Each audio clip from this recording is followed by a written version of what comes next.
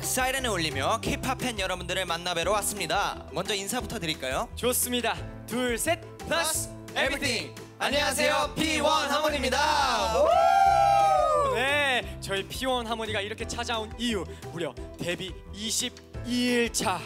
저희 신인의 패기로 팬분들의 마음을 사로잡기 위해서 왔는데요. 그쵸. 무대에서는 강렬함, 줍줍 타임에서는 반전 매력을 보여드리기 위해서 저희가 왔는데요. 자, 먼저 태우 씨 보여드릴 게 있다고 들었습니다. 아 당연하죠. 여러분들을 위해 저의 감미로운 목소리로 여러분들의 감성을 풀 충전시켜드리러 왔습니다. 와, 아, 너무 기대되는데요. 아, 바로 한번 불러주실 수 있나요? 아 알겠습니다. 가겠습니다. 둘, 셋. 어느새 길어진 그림자를 따라서 땅거미 진 어둠 속을 그대와 걷고 있네요.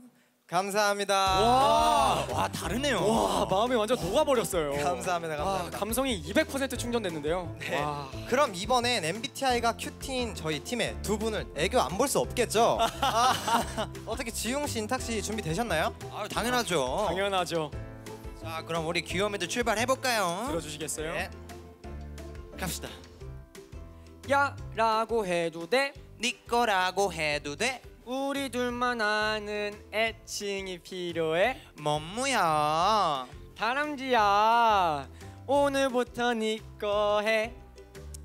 이야 박수. 박수 박수. 괜찮나요? 네, 여기까지 하도록 하겠습니다. K-팝 팬분들 P1 하모니의 반전 매력에 심쿵했다면 잠시 후 사이렌 무대 무대까지 채널 고정. 이어서 심장을 뿜 하고 터트릴 엘라스트 시크릿 넘버와 함께해요.